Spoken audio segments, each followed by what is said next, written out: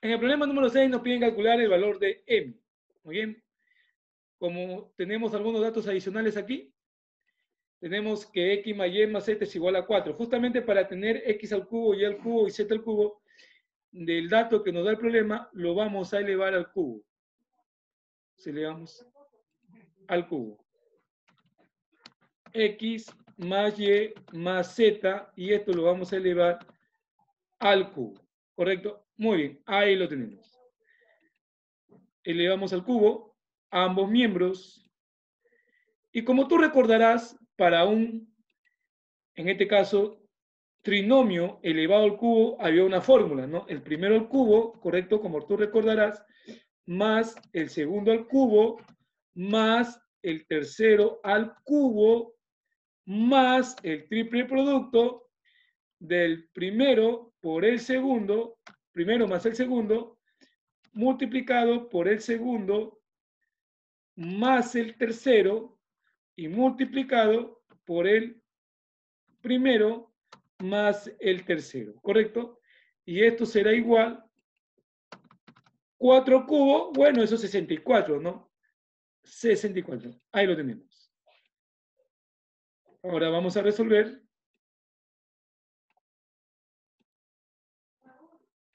Y como tú observarás en tu pizarra digital, te están pidiendo calcular el valor de m. Pero ya lo tienes en la pizarra. Correcto, sabemos que esto de aquí equivale a m, ¿verdad? Eso vale m y lo escribimos aquí. m más, correcto, muy bien, ahí lo tenemos. Y como tú visualizarás en tu pizarra digital, y ya te habrás percatado, que xy multiplicado por y más z multiplicado por x más z es igual a 5, ¿verdad?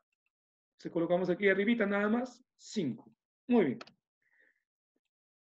Ahí lo tenemos. Ahora, seguimos desarrollando. O sea, acá sería 3 una pregunta, profe.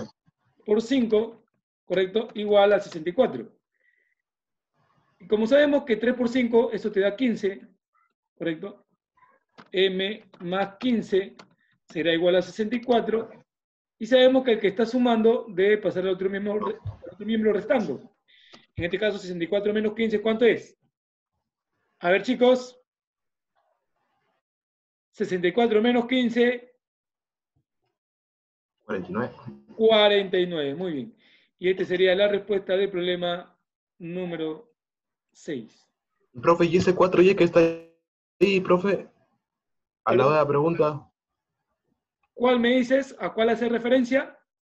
Ah, en lo que, que dice X más Y más Z igual a 4Y por X más Y, profe. ¿Y este 4Y qué significa? ¿No significa nada? No, no, no. no. Ese, profe. Ah, ya, ya, ya te, ya te entendí. Ah, te refieres a este de aquí. A ver. No, este no es Y, hijo. Ese es Y. Ah, ¿y? Claro, o sea, X más Y más Z igual a 4. Y X más Y por Y más Z por X más Z igual a 5. O sea, es una condición. Es una, es una condicional, o sea, es una conjunción. Es una Ah, pensé que era. Ya, mejor lo ponemos así ya, para que no se equivoquen ya. Y se le llama. Es una conjunción, correcto, es un en- enlace conectivo. Ah, claro, es un enlace conectivo que lo van a llevar en el curso de aritmética. En el curso de aritmética, con el profesor Paula Pumaita, ustedes van a llevar, o ya llevaron, creo, entiendo que ustedes Ya le hemos llevado ese año. ya, entonces, como ya llevaron, y ustedes saben, ¿no? Que es una conjunción, ¿no? Una conjunción es un enlace conectivo que enlaza, en este caso, dos proposiciones, ¿no? La misma que podrían ser verdaderos o falsos, ¿no? Como ustedes lo vieron en el curso también de RM, con el tema de verdades y mentiras, donde muchos de ustedes son expertos en esa materia.